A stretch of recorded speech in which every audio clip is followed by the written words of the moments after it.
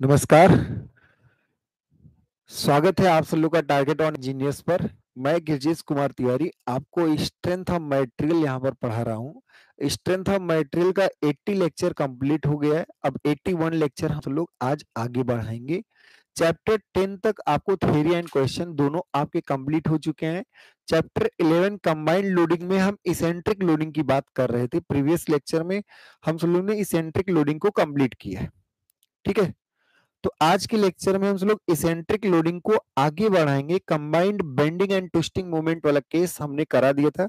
What is the value of equivalent bending moment we have already discussed and calculated the equivalent bending moment will come out the 1 by 2 m plus under root m square plus t square when bending moment m and torque t is applied simultaneously. एक साथ अगर M और T लग रहा हो तो उस समय इक्विवेलेंट बेंडिंग मोमेंट आपका आया था वन बाई टू और फिर m plus under M square plus T square बात समझ में आ रही? तो ये हम सब लोग ने 81 लेक्चर्स कर रखे हैं। इसेंट्रिक लोडिंग की बात हो रही थी और इसेंट्रिक लोडिंग का मीनिंग हम सब लोग ने डिस्कस किया था। What is the meaning of eccentric loading the meaning is that when a compression member is subjected to member is subjected to a load which does not pass through the geometric axis of compression then this type of loading is known as eccentric loading this type of loading is known as eccentric loading फिर हम सब लोग ने इसमें देखा this is the geometrical centre this is the geometrical centre line ठीक है थोड़ा सा आप ध्यान से देखिएगा, चीज़ें आपको देखेंगी। तो this is the geometrical centre line of the member geometric axis of the member and load is applied except the geometric centre at a distance of E at a distance of E this is the line of action of load because the line of action of load and geometric axis both are not coinciding with each other there is eccentricity E so we can see this is eccentric loading what is the effect of this corner of this corner तो if we replace the force at the centre अगर हम इसको force को replace करें कहाँ पर? Centre पर। अगर हम रिप्लेस करें फोर्स को कहाँ पर? सेंटर पर।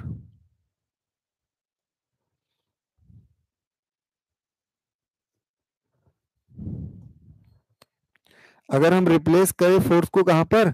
सेंटर पर। चलिए।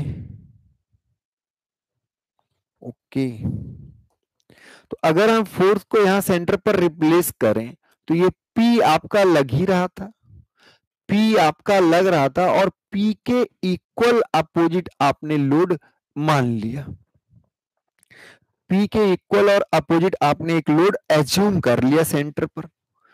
You have assumed the load at the centre is P equal and opposite both are equal and opposite तो इक्वल अपोजिट आपने लोड पी एज्यूम कर लिया। अब इसमें आप ध्यान से देखिएगा both P this P and this P will manage to each other will cancel out to each other but form a couple and the direction of couple will be clockwise the direction of couple will be clockwise तो आप यहाँ पे बता सकते हैं कि direction of couple M equal to P into and P is directly applied to the centre तो this load transform to this condition the this type of loading transform to this condition means क्या निकल के आया कि अगर आप eccentric loading करते हैं, अगर आप क्या करते हैं इसेंट्रिक लोडिंग करते हैं सेंटर से हट के लोडिंग करते हैं तो उसका इफ़ेक्ट क्या होगा? अगर आप यहाँ पर पी लोड करते हैं तो इक्विवेलेंट होता है किसके? ये इक्विवेलेंट होगा किसके? डायरेक्ट कंप्रेशन तो होगा ही सेंटर पर। तो इसका प्रभाव हम सेंटर पर जानना चाहते हैं। तो इसका प्रभाव जब आप सेंटर पर जानना चाहते हैं तो सेंटर पर डायरेक्ट पी तो होगा ही होगा। उसके साथ साथ यहाँ पर पी इंटू ई भी आएगा। And what is E is the eccentricity और पी इंटू ई क्या है? This is couple movement this is couple और ये कपल टॉर्सनल नहीं है. दिस इज़ कपल मोमेंट है. This is the bending moment है। मतलब अगर आप कॉन्सेंट्रिक लोडिंग करते हैं, सिर्फ़ सेंटर में लोडिंग करते हैं तो कोई प्रॉब्लम नहीं है। सेंटर में लोडिंग करने पर सिर्फ़ और सिर्फ़ डायरेक्ट कंप्रेशन आएगा। सिर्फ़ और सिर्फ़ क्या आएगा? डायरेक्ट कंप्रेशन आएगा। पर अगर सेंटर से हटके इसेंट्रिक लोडिंग करते हैं तो आपका डायरेक्ट कंप्रेसिव स्ट्रेस तो आएगा ही आएगा। उसके साथ साथ बेंडिंग भी आएगा। अब अगर हम पी से पूछें कि तुम क्या करो कंबाइंड लोडिंग है। तो P will produce P will produce P by A और ये भी क्या? Compressive stress P will produce P by A compressive stress throughout the cross section for all cross section तो अगर हम ध्यान से पूछे पी से, देखिए पी अगर डायरेक्टली सेंटर में हो तो पी इंटू ई ज़ीरो हो जाएगा। आपका पी बाई ए डायरेक्टली क्या होगा? कंप्रेसिव होगा फॉर ऑल क्रॉस सेक्शन तो यहाँ पर अब बात आ रही है कि पी क्या डेवलप करेगा? तो पी आपके पूरे क्रॉस सेक्शन में, ये जो यहाँ पे क्रॉस सेक्शन है, पूरे क्रॉस सेक्शन में आपका ये P by A compressive stress develop करेगा। पर अगर हम यहाँ पर बेंडिंग मोमेंट से बात करें, कि बेंडिंग मोमेंट तुम क्या करोगे? पी इंटू ई क्या करेगा? तो यहाँ पर ये टेंसाइल डेवलप करेगा और यहाँ पर कंप्रेसिव डेवलप करेगा। और और सब जगहों पर इन दोनों के ऐसे बीच में, यहाँ टेंसाइल टेंसाइल और यहाँ पर कंप्रेसिव कंप्रेसिव और अगर हम अगर हम बात करें पी से कि तुम क्या करोगे तो पी कहेगा हम throughout the cross section throughout the cross section हम कंप्रेसिव ही डेवलप करेंगे। तो पी जो आपका होगा वो पी बाई ए डेवलप करेगा, पर बेंडिंग जो होगा वो आपका वो बेंडिंग आपका क्या करेगा? कुछ पोर्शन में टेंसाइल और कुछ पोर्शन में कंप्रेसिव मतलब अल्टीमेट बात यहाँ पर आई कि अगर आप इसेंट्रिक लोडिंग करते हैं if you are applying a load that line of action is not passing through the centre of the geometric axis of the member and there is eccentricity तो आप यहाँ पर ये कह सकते सकते हैं कि इसको हम इक्विवेलेंट मानेंगे इसी के कि बीच में लोड पी है। यहाँ लोड पी है और मोमेंट जो आपका लग रहा है वो पी इंटू ई है।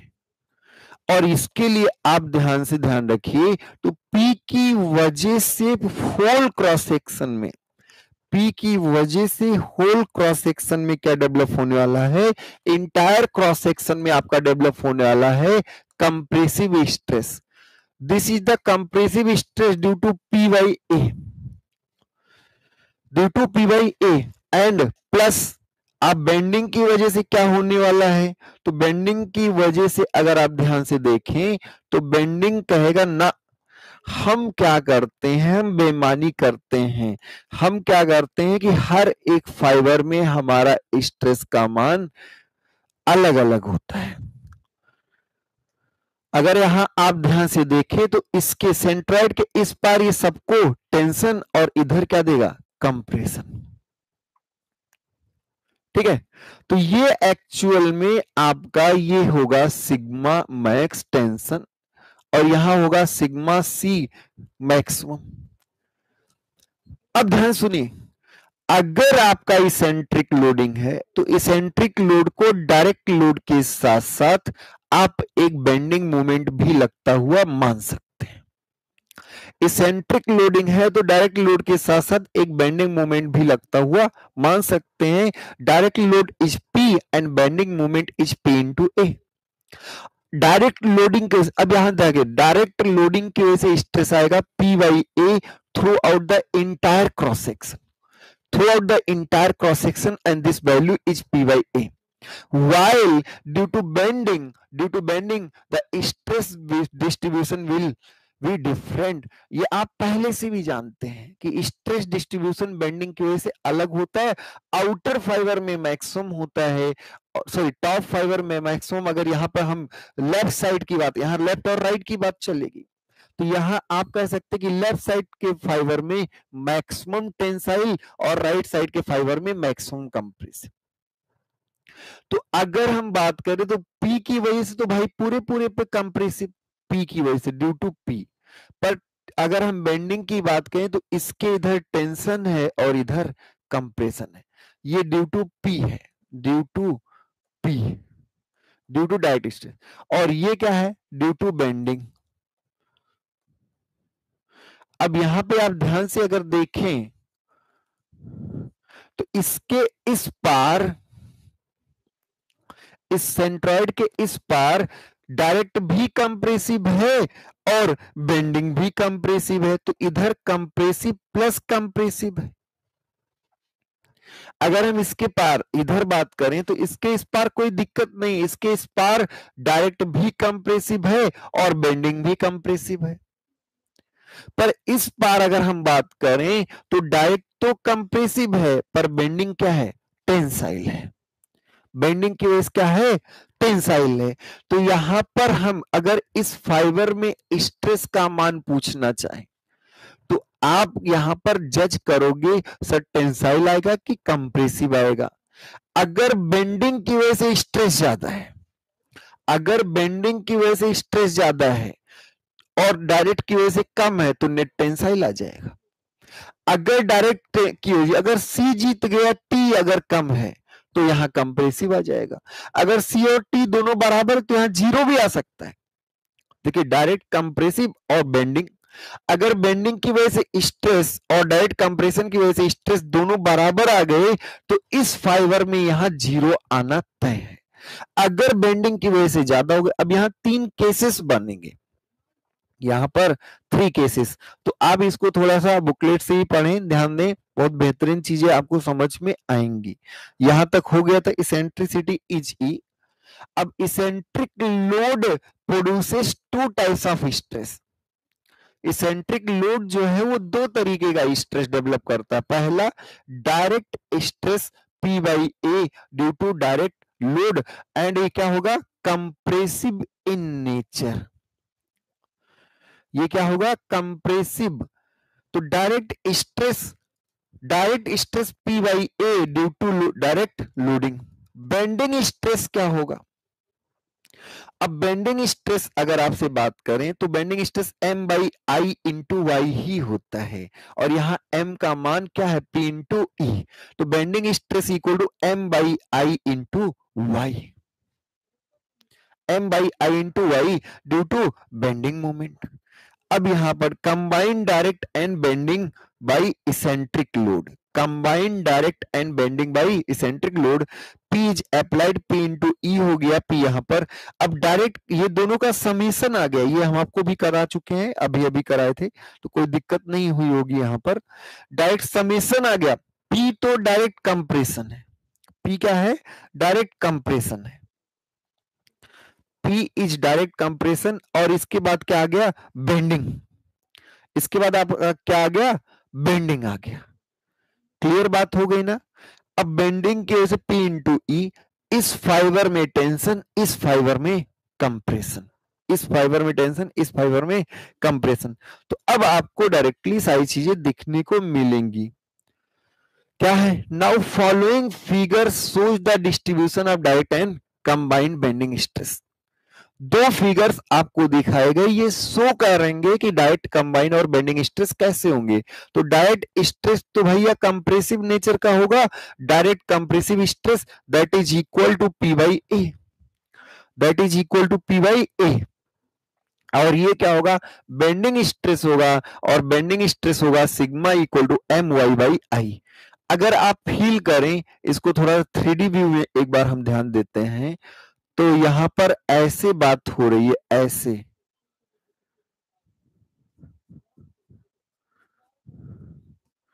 यहाँ पर अगर आप ध्यान से देखें तो यहाँ पर आपका डायरेक्ट तो है ही।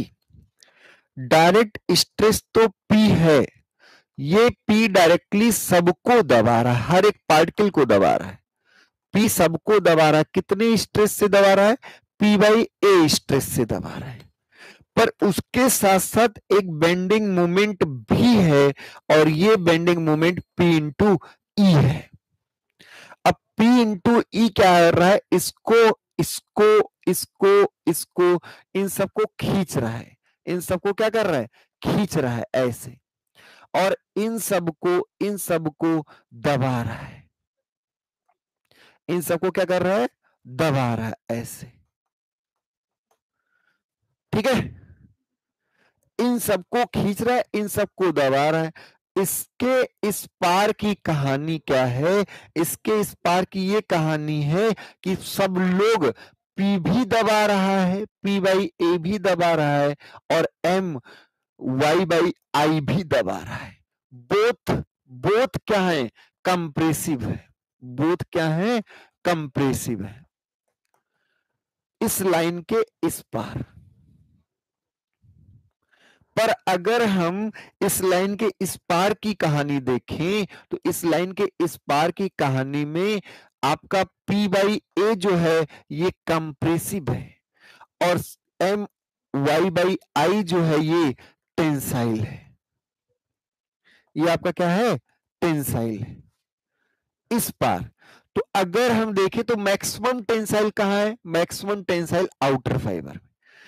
अब अगर ये मान लीजिए टेंसाइल वाला पी वाई ए से और वो भी मैक्सिमम वाला ज़्यादा हो गया तो इस फाइबर में आपका नेट टेंशन आ जाएगा। अगर एम वाई वाई आई अगर उसके बराबर हो गया तो आउटर फाइबर में ज़ीरो आ जाएगा। अगर एम वाई वाई आई अगर उससे ज़्यादा हो गया, तब उस केस में यहाँ इस फाइबर में नेट टेंशन आ जाएगा। तो अब ध्यान दीजिए, यहाँ पे इंपोर्टेंट इंपॉर्टेंट बात चल रहा है। Now following figure show the distribution of direct and combined stresses, combined bending stress. This is direct compressive stress which is equal to P by A and compressive in nature. And compressive in nature. And this is bending stress distribution. And bending stress distribution fibers left side to the centroidal axis fibers rest left side to the centroidal axis will will feel the tensile stress while fibers right side to the uh, right side to the centroidal axis will feel the be compressive bending stress. Since left side to the centroidal fiber there is conflict. Bending develop the tension and direct will develop the compression while right side to the the centroidal axis. Right side to the tensile uh, uh, centroidal axis there is no conflict.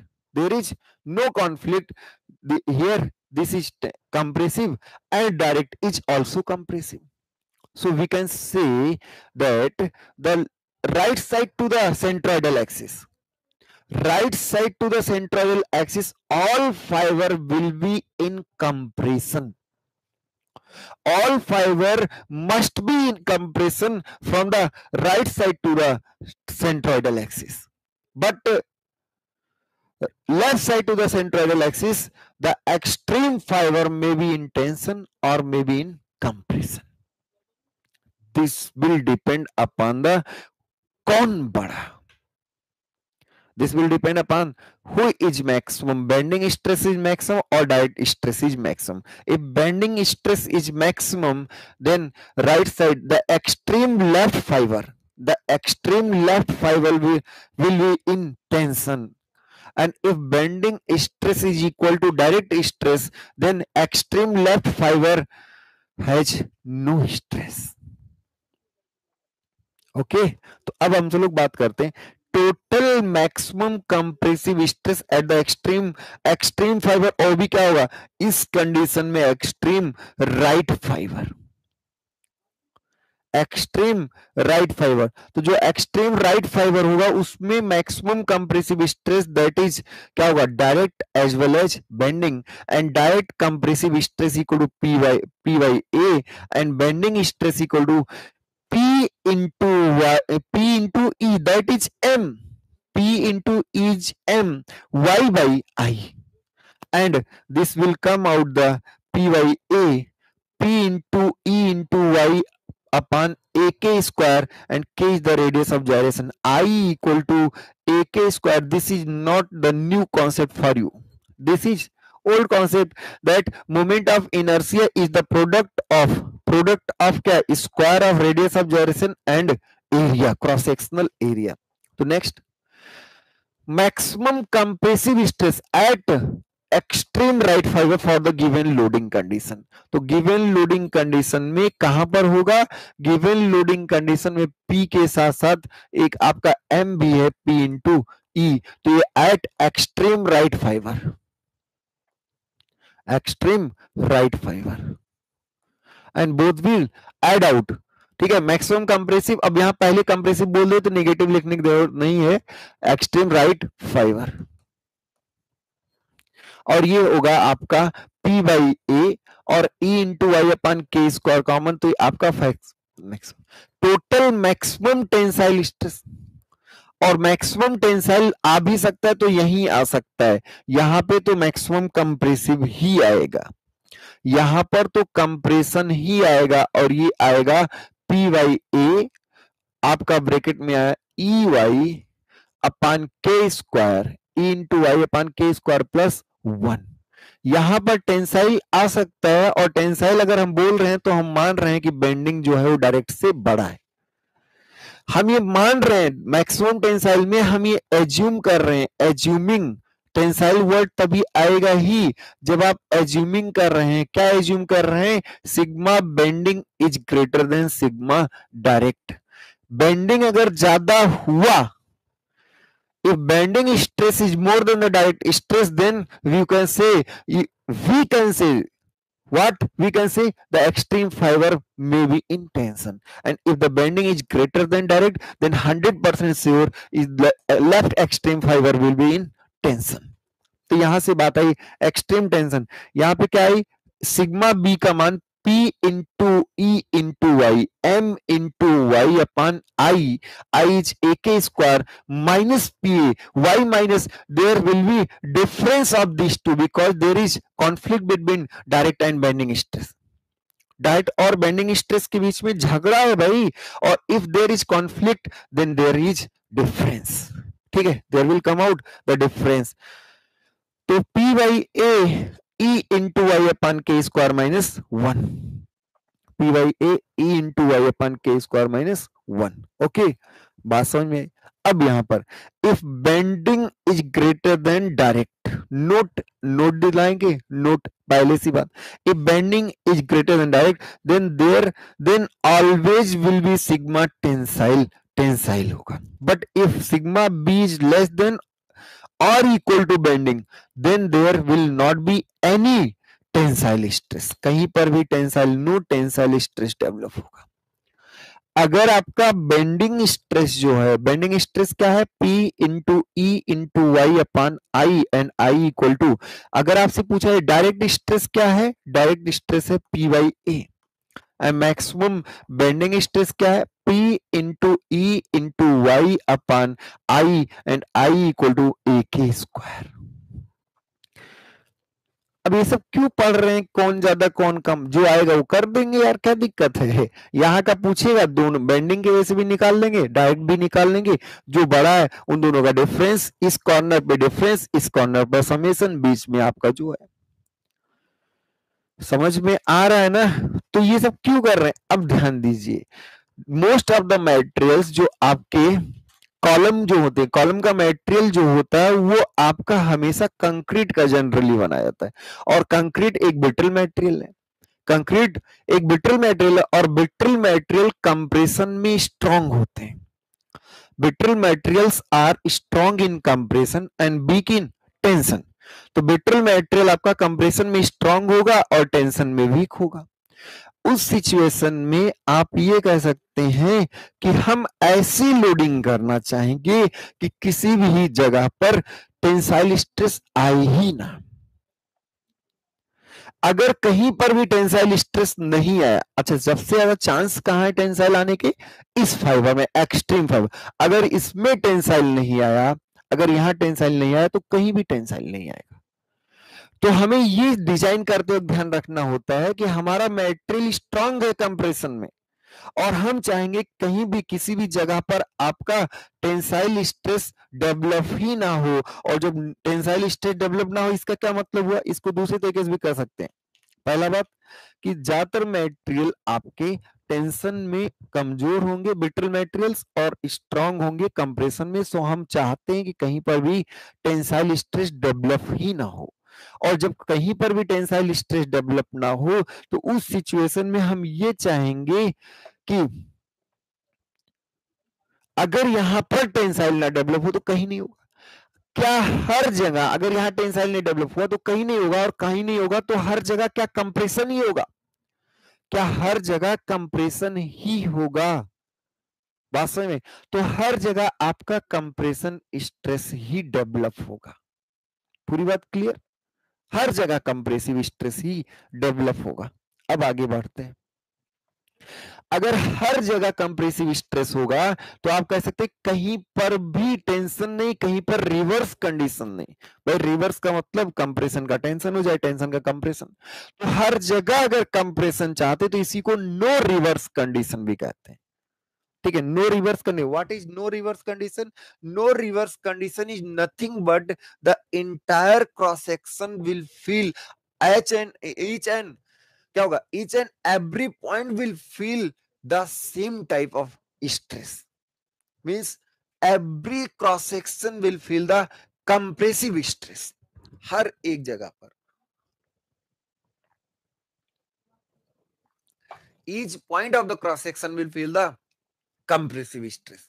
No reverse condition तो कई बार ये पूछा जाता है कि no reverse condition के लिए no reverse stress के लिए कंडीशन बताइए। नो रिवर्स स्ट्रेस मतलब क्या है कि टेंसाइल स्ट्रेस डेवलप ही ना हो, उसके लिए आप क्या बताइए? कंडीशंस बताइए। तो कितना आसान है, देखिए अभी करते हैं। अगर आप for no reverse stress condition आप खुद ही बोल दिए। For no reverse stress condition reverse means यहाँ पर टेंसाइल क्योंकि हर जगह कंप्रेशन है फॉर नो अब आप सोचिए कि कोई भी आपका, कहीं भी स्ट्रेस आपका, क्या हो? टेंसाइल ना हो। तो जहाँ ज़्यादा चांसेज हैं होने के, उसी को बचा ले जाओ बस। उसी को बचा ले जाओ तो कहाँ पर ज़्यादा चांसेज हैं? ज़्यादा चांसेज हैं लेफ़्ट एक्सट्रीम फाइबर अगर यहाँ टेंशन नहीं आया तो कहीं नहीं आएगा। तो आप कहोगे, सर बेंडिंग स्ट्रेस जो होना चाहिए, वो डायरेक्ट स्ट्रेस से कम या बराबर होना चाहिए। अगर बेंडिंग डायरेक्ट से कम या बराबर है, ये पहली condition first condition for no reverse तो ये भी आपसे पूछा भी गया है कि for no reverse stress condition the bending maximum bending stress must be less than और इक्वल टू डायरेक्ट स्ट्रेस अगर डायरेक्ट ही जीतेगा हर बार तो कहीं पर भी आपका कंप्रेसिव नहीं आएगा। अब इस केस में आप यहाँ पे बोल सकते हैं sigma B is less than sigma D और यहाँ पे सिग्मा टेंसाइल हमेशा ज़ीरो और सिग्मा बी का मान अगर देखें तो सिग्मा बी क्या था? P into E into Y upon A K square ये क्या होना चाहिए? ये क्या होना चाहिए? ये पी बाई ए से कम या बराबर होना चाहिए। या यहीं पे कॉमन ले लें तो p into Y upon A K square minus P by A क्या होना चाहिए? लेस देन और इक्वल टू ज़ीरो। यहाँ से आप पी वाई ए कॉमन ले लें तो यहाँ से आएगा E Y upon K square be less than और equal to zero this can not be negative और zero then we can say E Y E E Y upon K square should be less than और equal to zero this is the most important case E should be less than और equal to K square upon Y a should be less than or equal to k square upon y. Eccentricity इससे कम अगर रहेगा आप खुद सोचिए। अगर आप ज़्यादा इसेंट्रिक लोड लगाएँगे तो पी इंटू ई बढ़ेगा मोमेंट बढ़ेगा और मोमेंट जब बढ़ेगा तो उस सिचुएशन में बेंडिंग के डायरेक्ट से ज़्यादा होने के चांसेस बहुत ज़्यादा है। तो इसेंट्रिसिटी हमेशा क्या होना चाहिए?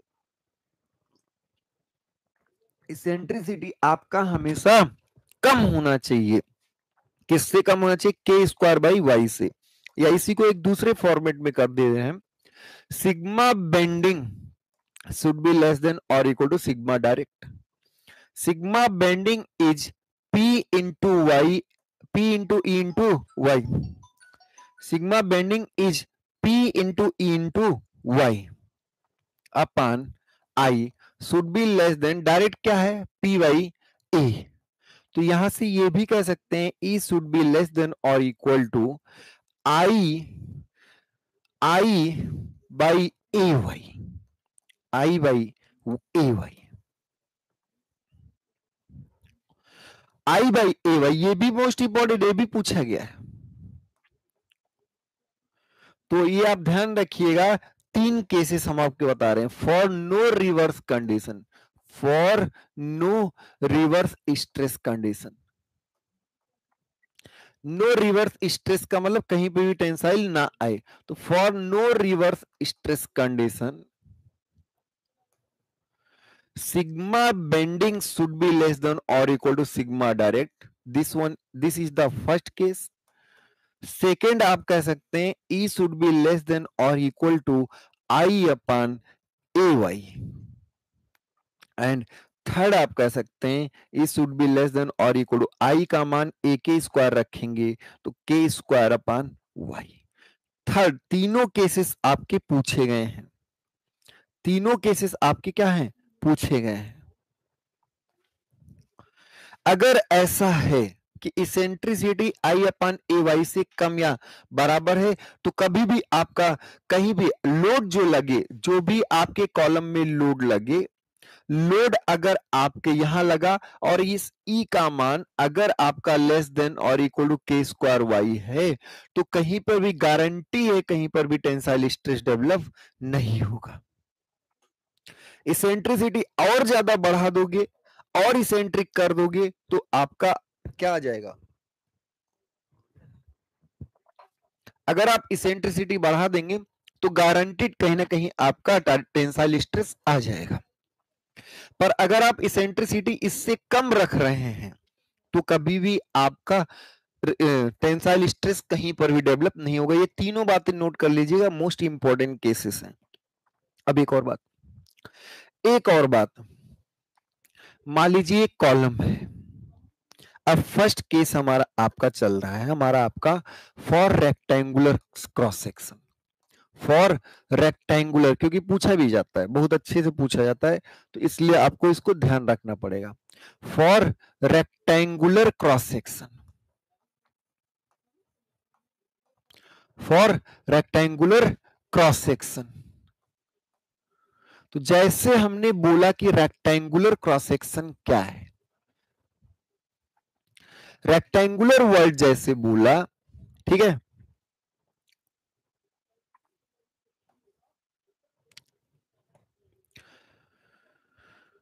रेक्टेंगुलर तो आप पी का, ये सेंट्रोइडल ज्योमेट्रिक ऐसे पी का मान, ऐसे। अब भाई इसेंट्रिसिटी आपने कहा eccentricity should be less than और equal to I upon I upon A Y, या फिर इसी को के स्क्वायर अपन वाई बाद में लिखा जाता है क्योंकि वो पूछा गया इसलिए उसको करा। बेसिक यही है।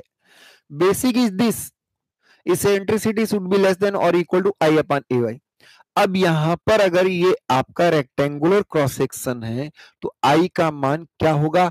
ए का मान क्या होगा? वाई का मान क्या होगा?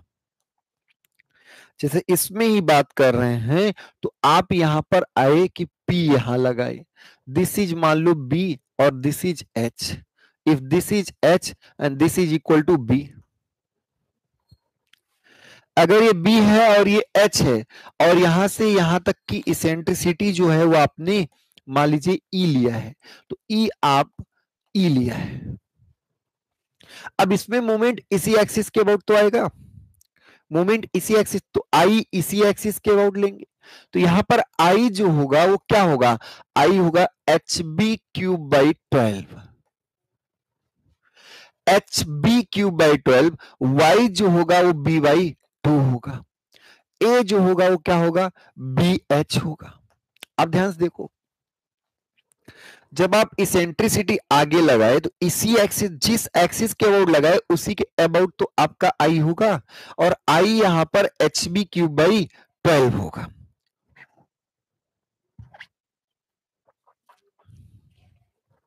आगे बढ़े। तो यहाँ पर ई e का मान क्या होना चाहिए? लेस देन और equal to I is H B cube by twelve and A is B H and this is B by two तो यहाँ से अगर आप ध्यान से देखें तो ये आपका आएगा बी बाई सिक्स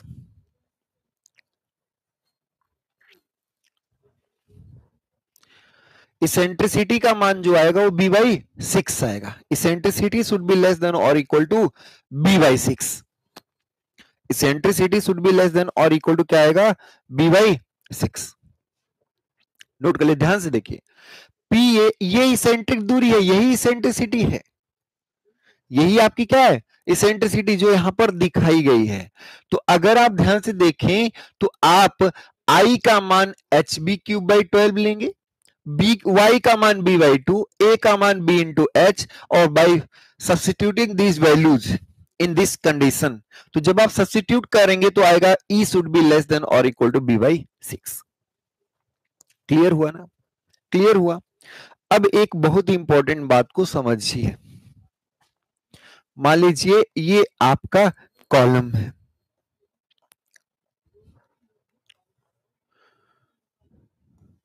ये आपका क्या है? कॉलम है। ये डायमेंशन बी है, ये डायमेंशन एच है। अगर आपने इससे बी बाई सिक्स दूरी के अंदर लोड लगाया है, इससे कितनी दूरी के अंदर? इससे कितनी दूरी के अंदर? बी बाई सिक्स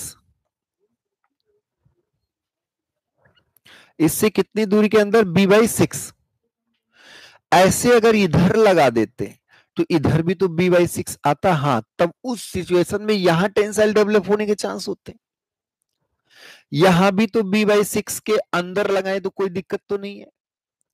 ऐसे अगर किसी ने कहा कि हम यहाँ पर लगाएँ, यहाँ पर तो इधर h बाई सिक्स इधर h बाई सिक्स ये भी तो दूरी आएगी। यहाँ से आप ये दूरी h बाई सिक्स अगर लगा दें, इधर h बाई सिक्स दूरी पर लगाएँ तो भी आपका कहीं पर भी टेंसाइल स्ट्रेस डेवलप नहीं होगा। क्यों? अरे भाई, जैसे आपने क्रॉस सेक्शन में कहा कि गुरुजी, यहाँ से बी बाई सिक्स दूरी के अंदर तक लगाओ, कोई दिक्कत नहीं है। बी वाई सिक्स दूरी के अंदर तक लगाओ, कोई दिक्कत तो इसी का रिवर्स आप इधर भी तो आप कह सकते हैं कि इधर भी तो हम बी वाई सिक्स दूरी तक लगा सकते हैं कि नहीं? उस समय, जैसे इसकी वजह से यहाँ टेंशन के चांस थे तो इसकी वजह से यहाँ टेंशन के चांस होंगे और क्या? चीज़ें बदल जाएँगी रिवर्स हो जाएँगी, बस इतना ही तो होगा। लेकिन आप इस साइड भी तो बी बाई सिक्स जा सकते हैं। टोटल क्या हुआ?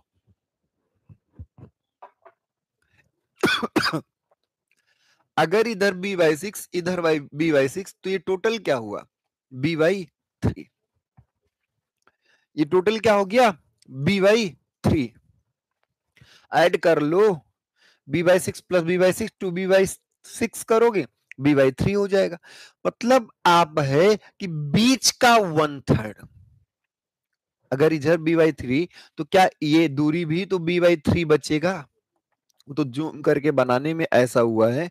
इधर भी तो बी बाई थ्री बचेगा। क्यों? क्यों?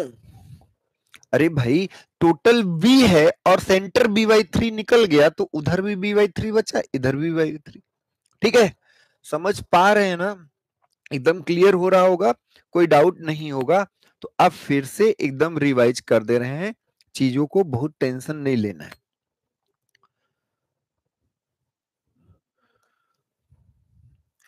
नहीं तो अल्टीमेटली तो आप रट ही लोगे, कोई बहुत बड़ी बात नहीं है। यहाँ से ये, यहाँ से ये। किसी ने कहा कि एक ऐसी डिस्टेंस बी बाई थ्री है बी बाई थ्री है, इसके बीच में अगर आप लोड लगाते हैं, इधर सॉरी बी बाई सिक्स ये भी है बी बाई सिक्स ये भी है और बी बाई सिक्स ये भी है। तो टोटल क्या हुआ? टोटल डिस्टेंस ये आपका आया बी बाई थ्री अगर आप बी वाई थ्री में लगाते हैं तो आप चाहे जहाँ लगा लीजिए, कभी भी टेंसाइल स्ट्रेस डेवलप नहीं होगा। तो ये बचा हुआ कितना रह गया? ये भी आपका बी बाई थ्री रह गया और ये भी आपका बी बाई थ्री रह गया। ऐसे किसी ने कहा कि, अरे गुरुजी, आप बी के चक्कर में पड़े हो, हम एच के चक्कर में जा रहे हैं। ये बी है और ये क्या है? एच है। तो जब आप जब आप एच की बात करेंगे, ये तो ऐसे क्वेश्चन में ये भी तो आएगा कि इधर से आप और इधर से आप। इस दूरी में अगर आप लगाएँ, इस दूरी में लगाएँ तो भी तो स्ट्रेस डेवलप नहीं होगा। ये आपका एच बाई सिक्स होगा और इधर का ये आपका क्या होगा? ये भी एच बाई सिक्स होगा। तो अगर आप यहाँ के h बाई सिक्स में, यहाँ के h बाई सिक्स और यहाँ के h बाई सिक्स इन दोनों के बीच में लगाते हैं, यहाँ भी लगाते हैं, तब इसके, जैसे उधर लगाते हैं तो इसके टेंशन आने के फाइबर चांसेस ज़्यादा है। इधर लगाएँगे तो उसके टेंशन, इस वाले फाइबर के टेंसाइल होने के चांसेस ज़्यादा है। तो आपका उधर से भी तो h by three x h by six h by six मिलके क्या आएगा? H by six h by six मिलके क्या आएगा? एच बाई थ्री आएगा। मतलब ये बीच का एक ऐसा रीजन मिलेगा। बीच का एक ऐसा रीजन मिलेगा कि आप इस रीजन में अगर इधर उधर स्ट्रेस लगा रहे हैं तो कहीं मतलब लोड लगा रहे हैं तो कहीं पर भी टेंसाइल स्ट्रेस डेवलप नहीं होगा। अब ध्यान से सुनिएगा, most important final conclusion. Eccentricity जो है, अगर कोई पूछे इसेंट्रिसिटी तो वो वन थर्ड नहीं है, वो एच बाई सिक्स है, या बी बाई सिक्स है। इसेंट्रिसिटी जो आ रही है, वो क्या है? इसेंट्रिसिटी आपकी बहुत ज़्यादा नहीं है। तो इसेंट्रिसिटी आपकी अगर हम बात करें तो यहाँ पर अगर ये एक्सिस है, ये एक्सिस है। इसेंट्रिसिटी बी बाई सिक्स से ज़्यादा नहीं होनी चाहिए। तो यहाँ ध्यान रखिएगा, ऐसे एक रीजन मिलेगा। ऐसे एक रीजन मिलेगा जिसमें ये डिस्टेंस आपकी h by six, h by three होगी, ये डिस्टेंस आपकी b बाई थ्री होगी। ये डिस्टेंस आपका होगा h बाई थ्री, क्योंकि ये पूरी दूरी क्या है? h है। और ये डिस्टेंस जो आपका होगा, ये ये डिस्टेंस जो होगा, ये ये आपका डिस्टेंस होगा b बाई थ्री, क्योंकि ये डिस्टेंस b है। तो एक ऐसा रीजन मिलेगा, एक ऐसा क्षेत्र मिलेगा कि अगर आप इसमें लोडिंग करते हैं, इसमें आप कहीं पर भी पी लगाते हैं, इस सेक्शन के, ये एक क्रॉस सेक्शन है, इस सेक्शन के एक ऐसा रीजन मिलेगा, इसमें अगर आप लोडिंग करते हैं, इसमें अगर आप क्या करते हैं, लोडिंग करते हैं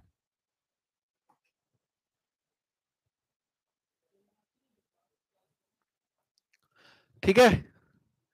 इसके अंदर अगर कहीं आप लोडिंग चाहे यहाँ लगा दो एक्सट्रीम इस वाले हाथ पर लगा दो चाहे जहाँ तो इसके अंदर अगर को, कोई लोडिंग करते हैं तो किसी भी फाइबर में कोई भी रिवर्स स्ट्रेस नहीं डेवलप होगा। इसलिए इस एरिया को हम कोर एरिया कहते हैं। इस एरिया को हम क्या कहते हैं? कोर एरिया या कहीं कहीं इसको हम क्या बोलते हैं? कर्ण एरिया तो kern area is the central area kern area core area एक ऐसा क्रॉस सेक्शन का सेंट्रल एरिया है, जिसमें अगर लोड अप्लाई हो तो कहीं भी किसी भी फाइबर में आपका टेंसाइल स्ट्रेस डेवलप नहीं होगा। ठीक है कोर एरिया एक ऐसा एरिया कोर एरिया और kern area is the area is the central area of the cross section is the core area or central area of the cross section on which if the load is applied there will be no tensile stress only compressive stress will be at each and every point of the cross section तो अगर आप core area के अंदर की बात करते हैं core area के इनसाइड कोई भी कंप्रेसिव स्ट्रेस लगाते हैं तो ये गारंटी है कि कहीं पर किसी भी फाइबर में टेंसाइल स्ट्रेस डेवलप नहीं होगा। इसलिए जान है, इस जान के अंदर अगर आप कहीं भी लोड लगाते हैं और ये जानने की ज़रूरत क्यों पड़ी कोर एरिया की? क्योंकि कोर एरिया हमें इंडिकेट करता है कि इससे बाहर अगर लोड लगा देंगे तो फाइबर में कहीं ना कहीं एक्सट्रीम फाइबर में टेंसाइल स्ट्रेस डेवलप ठीक है? टेंसाइल स्ट्रेस डेवलप हो जाएगा। बात समझ में आ रही है ना? इसीलिए हम सब लोग इसी एरिया में ही हमेशा क्या करते हैं? लोडिंग करते हैं। इसी एरिया में क्या करते हैं? लोडिंग करते हैं जिससे मेंबर क्योंकि हमारा मेंबर जो है वो ब्रिटिल मेंबर है और ब्रिटिल मेंबर कंप्रेशन में क्या होते हैं? स्ट्रांग होते हैं। अब अगर इसकी बात करें हम, इसकी बात करें तो ये डिस्टेंस आपका क्या है? बी वाई थ्री ये डिस्टेंस क्या है? बी वाई थ्री और अगर हम इस डिस्टेंस की बात करें तो ये क्या है? एच बाई थ्री इसका मतलब क्या है? कि सेंट्रल आप बी बाई थ्री और एच बाई थ्री के अगर अंदर रहेंगे, इसलिए बोला जाता है कि rectangular cross section area one third rule को फॉलो करते हैं। रेक्टेंगुलर क्रॉस सेक्शनल एरिया क्या करते हैं? वन थर्ड रूल को फॉलो करते हैं। कैसे रूल वन थर्ड रूल अच्छा वन थर्ड रूल क्या है? वन थर्ड रूल क्या है कि सेंट्रल वन थर्ड एरिया ही कोर एरिया होता है। सेंट्रल वन थर्ड एरिया ही क्या होता है? कोर एरिया होता है। किस केस में? रेक्टेंगुलर में। अगर ये स्क्वायर हो जाए तो उसमें भी सेंट्रल वन थर्ड एरिया ही आपका क्या होगा? कोर एरिया होगा और इन सब सिचुएशंस में आपका रोम्बस बनेगा। कोर एरिया जो होगा वो कैसा होगा? रोम्बस बनेगा, ये ध्यान रखिएगा। ठीक है? ये आपका बी बाई सिक्स और उधर एच बाई सिक्स तो अब फिर से थोड़ा और एक क्लियर इमेज के साथ हम लोग उतर रहे हैं, चीज़ों को समझा रहे हैं। ये एक कॉलम है और कॉलम ने जिद पकड़ी है कि हमें हमें कभी भी टेंसाइल स्ट्रेस मत देना यार, कहीं भी लोड लगाओ टेंशन मत देना। हमने कहा तुम बी हो और ये कहा एच है। ऐसे आपने दोनों एक्सिस ड्रॉ की। मान लो इस एक्सिस को हम एक्स नाम देते हैं, इस एक्सिस को मान लीजिए वाई तो जेड आपका लॉन्गिट्यूडनल एक्सिस होगा, जिसके अलोंग आप क्या करेंगे? लोडिंग करेंगे। जेड आपका लॉन्गिट्यूडनल एक्सिस होगा, जिसके अलोंग आप क्या करेंगे? लोडिंग करेंगे। अब क्वेश्चन है कि इससे बी बाई सिक्स जा सकते हैं। इससे एच बाई सिक्स जा सकते हैं। इसेंट्रिसिटी वन थर्ड नहीं होता। Eccentricity maximum eccentricity one six होता है। पर दोनों साइड का मिला के अगर देखा जाए, तब आपका वन थर्ड हो जाता है। तो एक साइड का तो आपका इसेंट्रिसिटी क्या होता है? एक साइड का इसेंट्रिसिटी आपका, ध्यान दीजिएगा, बहुत इंपॉर्टेंट बात चल रही ये एक साइड का बी बाई सिक्स एक साइड का इधर एच बाई सिक्स तो टोटल जो आपका, इधर भी एच बाई सिक्स इधर भी एच बाई सिक्स अगर हम इस रीजन में हैं, इस रीजन में हैं तो दिस इज़ कोर एरिया और इसका सेप कैसा होगा? रोम्बस होगा। सेप क्या होगा? रोम्बस होगा। डायगोनल्स एक दूसरे के 90 डिग्री पर कट कर रहे हैं। और कोर एरिया अगर ये x है और ये y है, ध्यान से देखो, ये x है और ये y है तो इधर और इधर। इस लाइन का इक्वेशन, क्योंकि ये b बाई सिक्स है और ये आपका क्या है? H by six. ये आपका क्या है? h by six. तो इस लाइन का इक्वेशन तो आप कहोगे सर, क्या आसान चीज़ पूछ रहे हो? x by b by six अंताखंड अगर आपको बताऊँ, और यहाँ पर आप बता सकते y by h by six equal to one ऐसे अगर हम इसका पूछें, इसका तो इसका आपका आएगा x by b by six y उधर है तो plus y by minus h by six minus q by minus q minus q क्योंकि ये डिस्टेंस अगर वो एच बाई सिक्स है तो इधर माइनस एच बाई सिक्स होगा। ऐसे आप इसका निकालेंगे तो यहाँ y positive x negative sir x negative और इन दोनों केसेस में दोनों नेगेटिव तो आप देखेंगे तो एक जो आपका ट्रेपेजियम सॉरी रोम्बस जो बनेगा, सम चतुर्भुज जिसको बोलते हैं स्क्वायर और रेक्टेंगल में कोर एरिया रोम्बस होता है। एक साथ लिखा देंगे, सब परेशान ना होइए। सब एक साथ लिखा देंगे। तो इक्वेशंस आपसे पूछी जा सकती है। एरिया का क्या कोर एरिया क्या होता है? कोर एरिया रेक्टेंगुलर या स्क्वायर में आपका वन थर्ड रूल फॉलो करता है। अच्छा वन थर्ड कैसे हो गया सर? सिक्स था। तो दोनों तरफ़ की वजह से b by six b by six से अगर किए तो बी वाई थ्री हो गया। बस तो हमेशा वन थर्ड रूल फॉलो करता है। चीज़ें आपको क्लियर हो रही होंगी। बहुत बेहतरीन तरीके से हम सब तो लोगों ने किया है। रूल्स, ये तीनों नॉर्म्स आप याद रखिएगा, तीनों नॉर्म्स पूछे जाते हैं, हम इसी को अप्लाई करते हुए चीज़ों को आगे बढ़े इसमें जैसे, अब जैसे इधर की तरफ़ बात करते तो कुछ नहीं यार, यहाँ एच जो आई जो होता है बी एच क्यूब हो जाता है, y का मान h बाई टू हो जाता है, फिर भी h बाई सिक्स आ जाता है, जहाँ b बाई सिक्स आया, वही h बाई सिक्स आ जाता कोई नई चीज़ नहीं थी एक एक करके एक एक करके सारी चीज़ें हमने आपको बताई ठीक है? वेर अब आपसे क्वेश्चन के व्हाट इज़ के तो k is the radius of gyration about the bending axis अगर हम यहाँ मान रहे हैं कि bending is less than direct अगर बेंडिंग डायरेक्ट से छोटा है तो आप बताइए डायरेक्ट वाला जो आया था, वो हर जगह सेम आया था? डायरेक्ट वाला तो सेम आया था ना हर जगह। और जब डायरेक्ट वाला सेम आया था और बेंडिंग वाला जो आया था, इस साइड टेंशन और इस साइड कंप्रेशन इस साइड क्या था? टेंशन और इस साइड कंप्रेशन ये बेंडिंग है। और ये छोटा है, ये बेंडिंग है और ये डायरेक्ट है। जब ये छोटा हो जाएगा तो इन दोनों का डिफरेंस कुछ तो निगेटिव बचेगा। इन दोनों का डिफरेंस कुछ तो निगेटिव बचेगा। ये डायरेक्ट है। तो कुछ यहाँ डिफरेंस बचेगा और यहाँ पर दोनों सम हो जाएँगे। यहाँ पे डायरेक्ट माइनस बेंडिंग निगेटिव आएगा और यहाँ पर दोनों निगेटिव जब बेंडिंग और डायरेक्ट कम।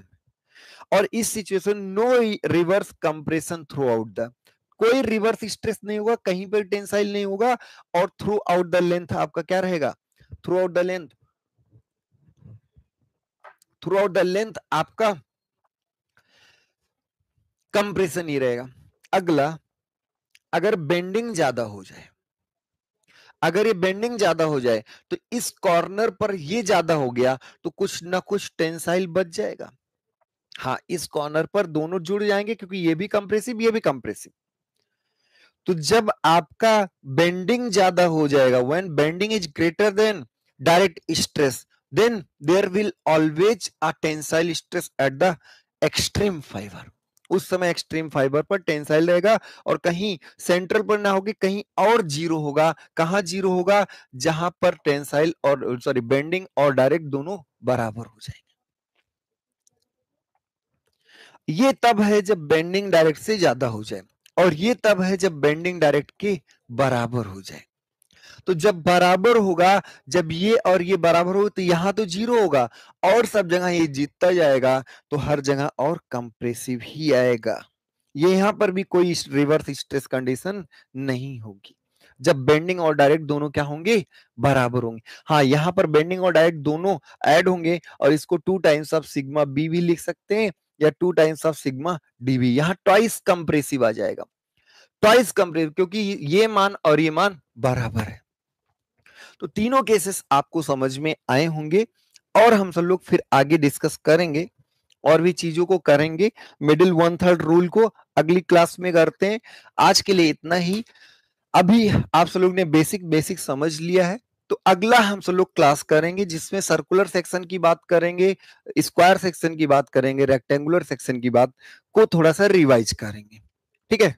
तो आज के लिए इतना ही। आप सब लोग खुश रहिए, मस्त रहिए रेगुलर क्लास अटेंड करते रहिए। बहुत बहुत धन्यवाद।